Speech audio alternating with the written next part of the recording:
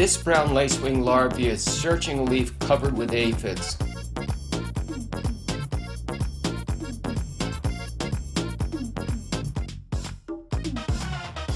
Watch what happens when it finds one. It uses its powerful saber-like jaws to capture the aphid that it sucks out its blood in a matter of minutes.